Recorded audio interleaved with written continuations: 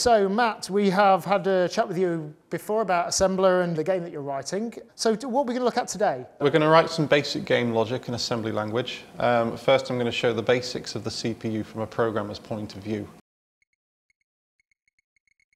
So let's invent a CPU. It's going to have a logic core. And because we're programmers, we don't concern ourselves too much with that. What we do care about are the registers. And registers are very tiny, typically four to eight bytes of storage inside the CPU itself um, for the logic core to operate on. So let's imagine we've got a, a register one, a register two, and we've got the PC. The PC is the program counter, and that stores the currently executing line of code. Um, so if you imagine back to your basic days, we would have something like 10, print, hello, 20, go to, 10. So the 10 and the 20 are the currently executing lines of code in BASIC. Obviously BASIC would have a software solution for this, but the principle applies. The PC would hold the 10, so the logic core would fetch that line of code to execute. It would then advance the program counter to 20 and then execute that line of code. But this go-to routine would inject 10 back into the program counter, so the next line of code would then be 10 again. So this logic core, let's imagine it's attached to some pseudo ROM, some RAM, uh, maybe a graphics processor or something, along physical wires, and this is what we call the bus. So the logic core can fetch memory values in and out of bus. When it initializes, it's going to immediately start executing code. So the program counter is going to be initialized to zero, at which points at ROM in our pseudo memory map, and it's going to immediately start executing code from the top of ROM. Uh, so let's write some assembly, we can interact with the other two registers then. So the first thing we want to do is put some basic values in these two. So let's do a move command. So we've got address zero, which is the top of ROM, and this instruction is going to move the literal value 8 into register R1.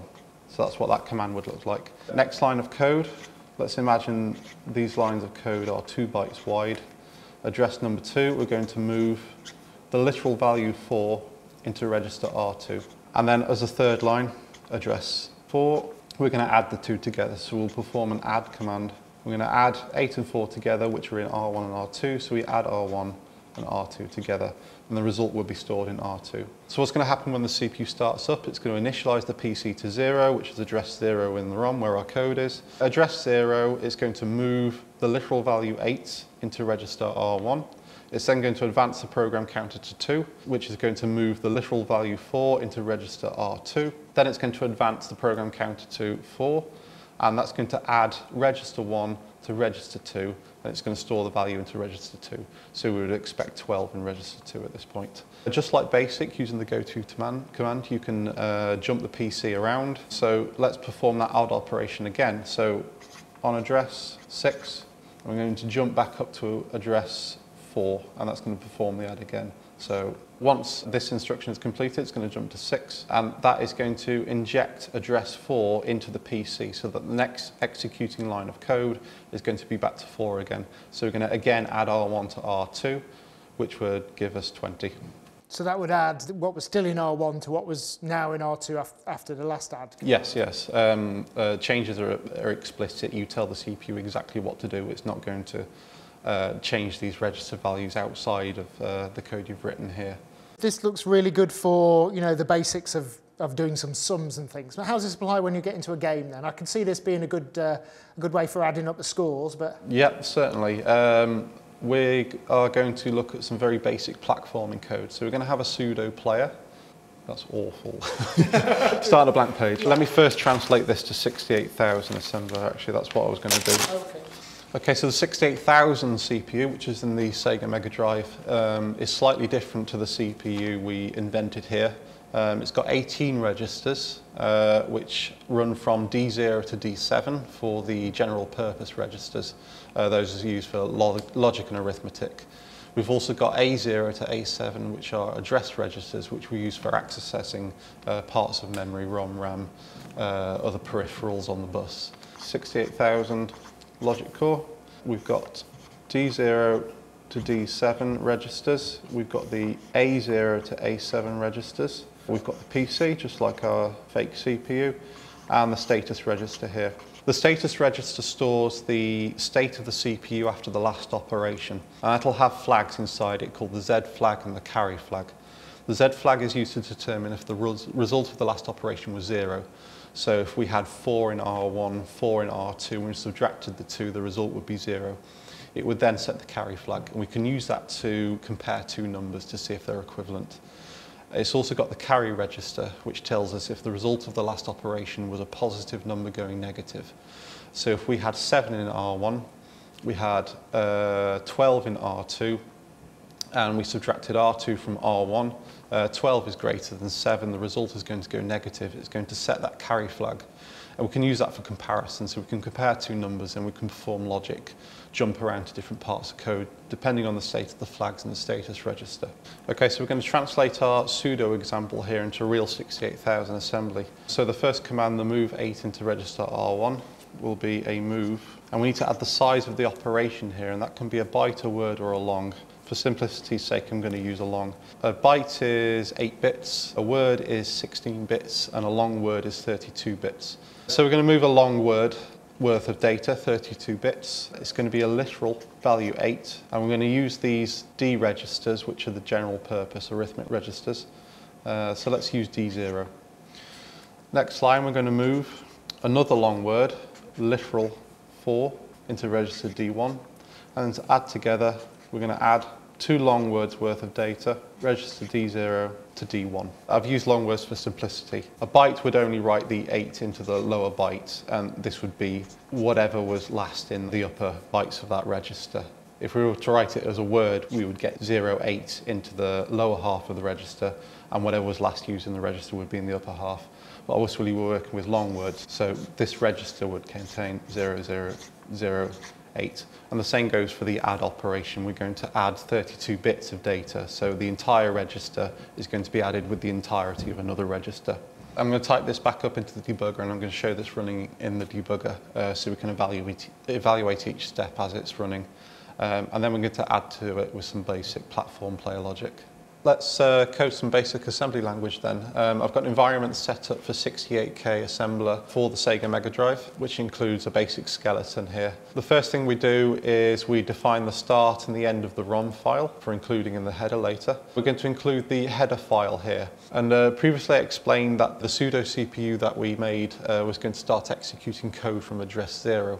For 68K, it's very slightly different. The CPU is not going to look for code when it starts up. It's going to look for this table in the first 512 bytes of memory. So the first thing it's going to look for is the address to initialize the stack value to. And this is the one we're interested in here, is the CPU entry point. So it's going to start executing code from the address that it finds in this entry of the table rather than immediately from address zero.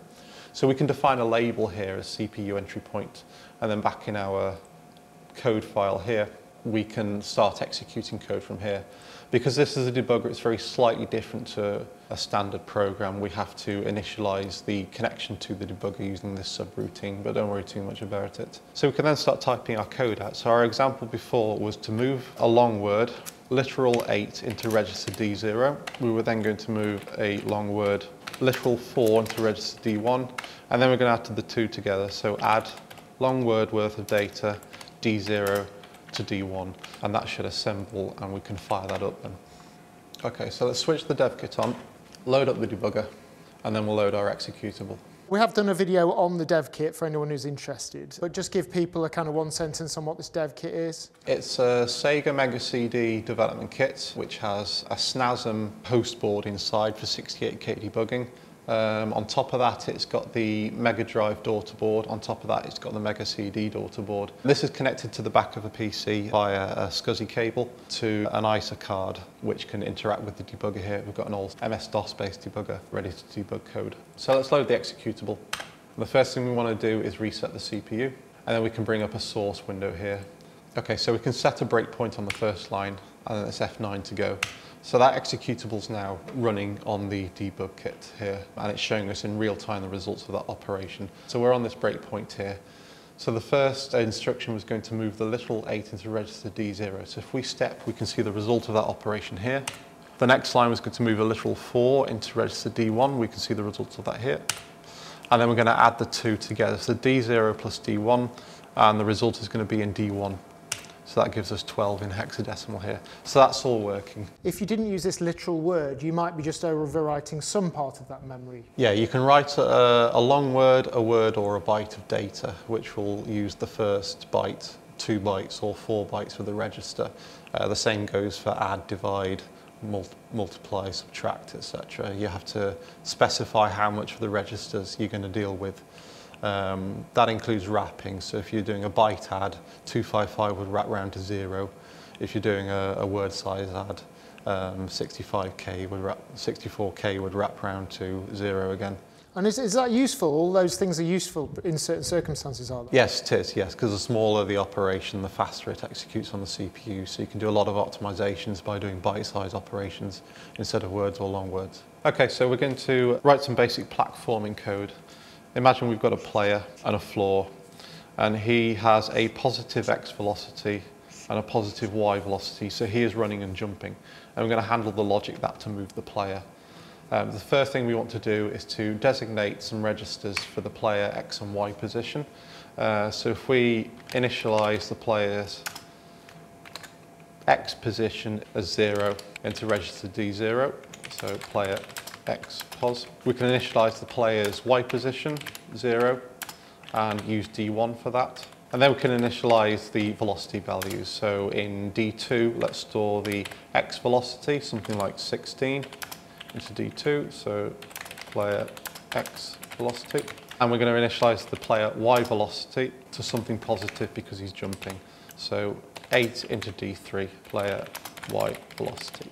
Okay, so now we need a game loop. So let's write a label for the top of the game loop. Let's call it player update. And then we can start moving the player using the velocity. So we would need to add player's x velocity to the player's x pos. So we're going to add d2 to d0. We're going to add the player's y velocity, the player's y position. So we're going to add d3 to d1. So then we're going to loop back up to the player update start. So if we do a jump back to player update, and that's going to continue looping forever. So let's save and assemble that and see it in action. So this is a discrete bit of code for handling where that player is, would that be right? Uh, yes, it is. Uh, this is a very tiny game loop which would handle the velocity applying to the player X and Y position. Obviously stuff would wrap around this for drawing the character and all the rest. Yeah, there would be extras here for um, uh, the graphics. Uh, once you've calculated the player's X and Y position, you would uh, send it to the sprite X and Y position. Uh, that's a, a, subject for another day though. Okay, so let's break on this line. Uh, we'll run again, and then we can break here. Uh, so let's initialize D0 to the player X position, 0. We'll initialize the player Y pos to 0. Uh, we're then going to initialize the player's X velocity to 16. And we're going to initialize the Y velocity to 8.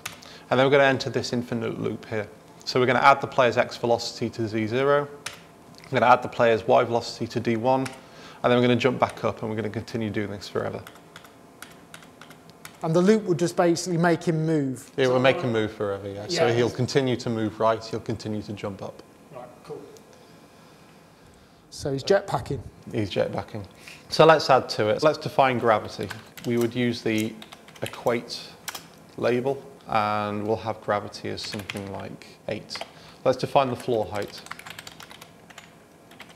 as something like seven. I haven't used an odd number yet. So in the player update, before we apply the y velocity, we want to apply the gravity to it. So we can subtract long word, it's a literal, so we need the hash again, gravity, from the player y velocity here before we apply it. Once the position has advanced, we want to check if we've hit the floor. So to do comparisons, you want to watch the status register to look at the last uh, state of the CPU for the last operation.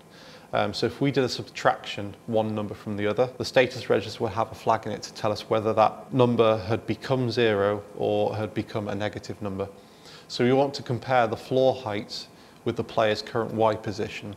If the result of that comparison was a negative number, the player is below the floor. So to do a comparison, we would compare the literal floor height with the player's Y position, D1, and then we would jump to a separate part of the code if that condition was met. So we do branch if greater than. There's also branch if less than, there's BEQ, which is branch if equal. There's also the equivalents for unsigned numbers as well. So that's basically saying if this certain thing is true, then go to a different bit of code. Yes. Exactly. So we start by comparing the floor height with a D1, which in the background would perform a subtraction operation, but without writing the results to any registers.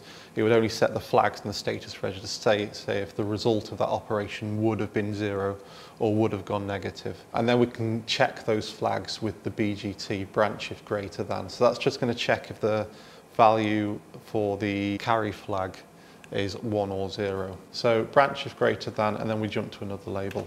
So we'll call this above floor. And then we'll define that label here, above floor.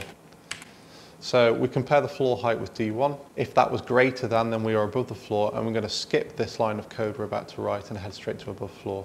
So if that condition was met, we are below the floor, and in that case, we want to snap back the player's Y position to the floor height. So we move the floor height to the player's Y position, which is D1.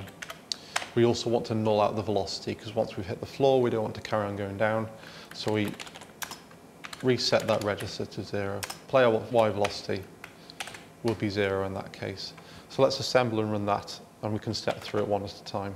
So back in the debugger, I've changed the initial X and Y pos so he's already above the floor for this demonstration. So let's run this then. To Initialize the X position to 8.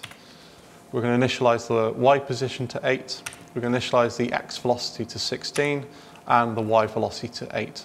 So this time, the first thing we're going to do is subtract gravity from the player Y velocity. So that, send that down to 4 before we apply the X and Y velocity. So add D2 to D0, add D3 to D1, and then we're going to check if we are still above the floor. So we're going to compare the floor height to the new Y position, and we're going to branch if it's above the floor, which it still is. So we skip straight to this line, and then we jump back up to the player update. Once again, we subtract gravity from D3, which sends it zero, which means we've hit the apex of the jump. We're going to add the x velocity, add the y velocity, compare if we're still above the floor, which we still are. Once again, we subtract gravity to D3, and this now goes negative, which means we're past the apex of the jump and we're going to start applying downward velocity instead of upward velocity. So once again, apply the x velocity to the x position, the y velocity to the y position, we're going to start moving downwards instead. And we're going to keep going until we are below the floor here. So the floor height was set to 7, the y position is now 0.